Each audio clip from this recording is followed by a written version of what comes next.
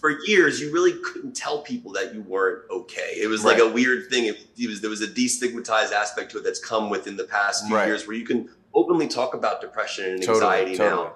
Um, what are your just thoughts on that idea and that theme of like it's okay to not be okay sometimes? You know, I love I love that thought, man. One of the coolest things I think um, has like come out of it, or sort of like come out of the collective conversation that it kind of like brings to light for everyone and for young people too, uh, is things like that. You know, uh, destigmatizing things that for so long we just like, you know, like we grew up and that was not something that would be necessarily supported at like you know your middle school or something, or like you know, and I think it's so uh, incredible that like kids are coming up now and being so aware of these things from such a young age and so open about them and so free to express them. It's one of my favorite things about like kind of where we're at right now and where we're going. And uh, and I do think that weirdly like social media has a lot to do with that. Like I understand that there's Yeah. also its own issues that definitely come with it as well. But I feel like that sort of conversation, that like I don't know, that universe has made it sort of more possible to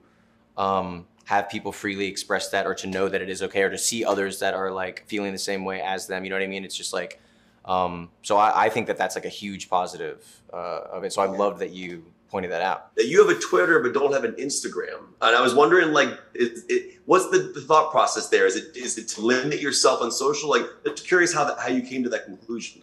The Twitter thing I think was like made for me, you know, when I was like 18 and first about to be on a show. And then uh, I think I was horrified at the first few tweets that they'd sent out on my behalf. And I was like, I, I was like, give me that, give me, give me, I'll take control of it. Uh, so that's just the one I've always had, I guess. And then, yeah, and I don't have Instagram. I mean, I'm on Insta, like I follow like accounts. It's not like I don't uh, have an Instagram. It's just, I guess I've just never really uh, known what I would post or I don't know. It just has never, maybe I will one day. I don't know. Just, uh, I just haven't so far.